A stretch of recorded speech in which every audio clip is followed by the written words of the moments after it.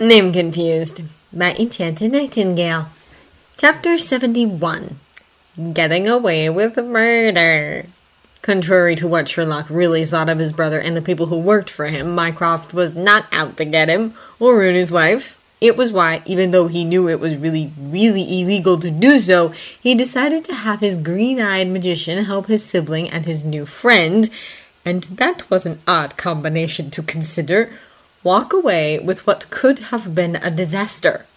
Murder was still murder, and while John Watson had killed a criminal, it was not self defense, as he had saved Sherlock's life, not his own. The law would not do to get involved in this. John Watson was a good man. He did not deserve prison.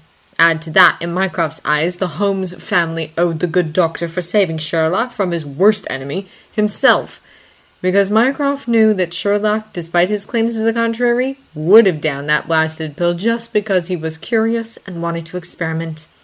And Mycroft, while watching that footage, had horrible memories flashing before him of Sherlock pale and still laying on a hospital bed. I've lived it twice already, Mycroft sighed softly. Jan stood next to him watching the footage. Admittedly, the angle was bad and there was no sound of the horrible standoff between Sherlock and the cab driver. Neither of them had jumped when the glass shattered and the cabby dropped dead. They did not bat an eyelash when Sherlock assaulted the man in his quest for answers, and neither of them cared when the serial killer died.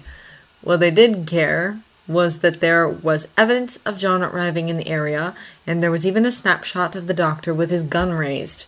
It would not be much of a leap if anyone saw the footage to realize who had taken the shot. So? The wizard asked in response. I want this solved before Lestrade and his men reach the scene, Mycroft stated. The green-eyed man gurgled his lips. That's decidedly unlawful of you, Mycroft, Jan remarked. The oldest of the Holmes siblings arched his eyebrow. Altogether, Though you know, Greg Lestrade is not an idiot. I know. I'm leaving with Anthea. Jan actually chuckled this time. Try not to rile up Sherlock too much. He's had enough excitement for one night. The CCTV won't be an issue, neither will the ballistics report. I could tweak it just enough to muddy the waters, and frankly, no one will look too close. Resulting to compulsions? Mycroft asked the wizard. No, just exploiting the human need for revenge.